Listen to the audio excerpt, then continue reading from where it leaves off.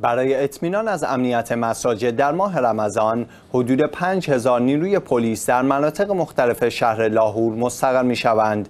غلام محمود دوگار افسر پلیس لاهور این موضوع را در جلسه بررسی برقراری امنیت در ماه رمضان و اجرای روش های عملیاتی استاندارد به منظور جلوگیری از شیوع ویروس کرونا بیان کرد.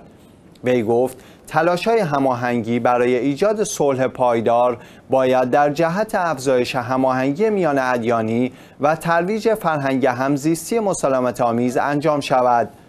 دوگار افسران را به انجام اقدامات امنیتی بی و نقص با تلاش یک پارچه و همکاری علمای دینی و جامعه مدنی سفارش کرد. وی از علمای دین خواست که در طول ماه مبارک رمضان برای تقویت صلح و هماهنگی میان ادیان و مذاهب مختلف نقش خود را ایفا کنند. دوگار همچنین از مدیران مساجد خواست تا برای اجرای روش های عملیاتی استاندارد برای مقابله با ویروس کرونا آنها را یاری کنند.